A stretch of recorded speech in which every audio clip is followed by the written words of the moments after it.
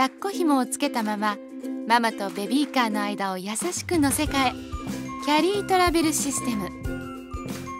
赤ちゃんとのお出かけ例えば階段や電車やバスでベビーカーを畳まなければいけない時でもベビーカーから抱っこ紐ごと乗せ替えられる。そのまま抱っこできてスムーズだから快適。ママの抱っこが心地よくて抱っこ紐で眠ってしまった赤ちゃんをベビーカーに移してゆっくり寝かせてあげたい時も抱っこ紐を外さずに乗せ替えられるから赤ちゃんの心地よさを邪魔することなく安心。お出かけにはキャリートラベルシステム対応の抱っこ紐とベビーカーを。どちらも赤いタグが目印です。アプリカ。